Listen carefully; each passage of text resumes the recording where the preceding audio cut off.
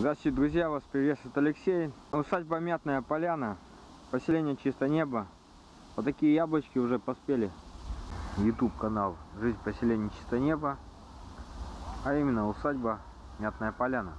Здравствуйте, друзья, вас приветствует Алексей из Кузниц. Мой канал не только о поселении Чистое Небо, он также и о кузнице, он также и о моих о работах у друзей. Здравствуйте, друзья, вас приветствует Алексей. Сейчас нахожусь э, в Ленинградской области, э, недалеко от Санкт-Петербурга, у друга на даче. Спасибо за внимание. Ставьте лайки, кому не нравится, дизлайки. Ну и нажимайте колокольчик на панели. И всегда будьте в курсе моих новых видео. До скорых встреч, с вами был Алексей.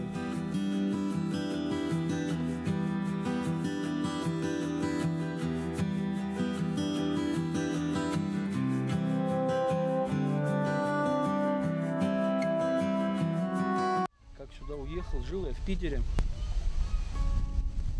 Столько земли на Руси огромной, пустует, а вот в конурках таких бьемся, что-то сидим там.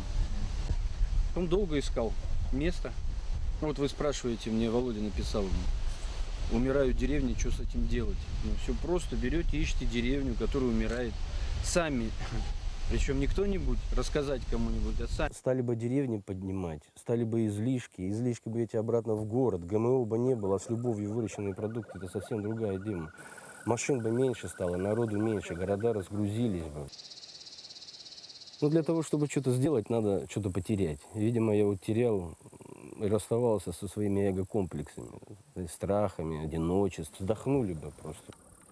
Так появилось экопоселение «Чистое небо». Разбитое на так называемые родовые поместья, оно раскинулось на огромной территории. Даже местное озеро площадью 35 квадратных километров по здешним меркам считается небольшим. Мобильная связь работает здесь отвратительно, зато для всех не запароленный Wi-Fi, что делает пространство для жизни безграничным. В их экопоселении «Чистое небо» уже 30 семей.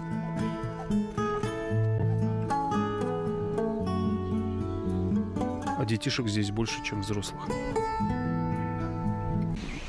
свежий воздух, вот это вот все. И если жить на природе и раз в месяц выезжать в город в кинотеатр, это лучше, чем жить в городе и раз в месяц ездить куда-нибудь на шашлыки. Вот мы до этого дошли и поехали. Ну, на природе жить лучше, чем в городе. Мы так решили.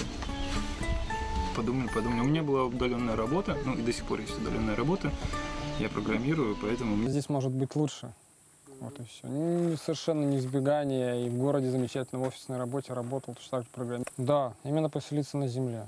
То же самое, да, фактически. Мы порой даже ездим в город за тем, что здесь, в маленьком городке, нельзя там что-то купить. Многое через интернет заказываем. Кроме того, здесь никто не курит, не употребляет алкоголя и не сквернословит, что позволяет заезжим туристам считать поселян сектантами, будто все прочие непременно курят, пьют и ругаются матом. В действительности все проще. Большинство людей стремятся избежать суеты, сохранить здоровье и жить в согласии с природой. Просто кто-то на это решился, а кто-то нет. Жизнь на своей земле, а это немало. Здесь я наконец-то раскрыла себя как женщина. Здесь я родила ребенка. Я начала заниматься рукоделием именно здесь. То есть мне в Питере было не до этого. В Питере я работала, училась, и я бы, наверное, ни за что бы в жизни не стала ничем заниматься. И здоровье уже, как сказать, подорвано. А вот здесь вот я вот нашел, так сказать, мы нашли вот с женой уголок, который нам нравится. Приходит интуитивно что-то, желание что-то посадить, что-то досадить, где-то что-то доделать, досовершенствовать. Потому что здесь, по большому счету, был, были заросли. Вот, и здесь какие-то деревья можно убирать, какие-то более благородные сажать, плодовые деревья сажать. В первой половине 20 века здесь было еще как людно. 83 дома на всю округу. Но во время войны местные партизаны захватили в плен немецких офицеров, и зондеркоманды СС деревню сожгла. Однако следы былого проступают тут и там. Иными словами, жизнь здесь не столько насаждается, сколько возрождается. Живут себе люди, никому не стремясь понравиться, в гармонии с собой. Опровергая известную максимум, они открыто дают понять, на свете есть и счастье, и покой, и воля.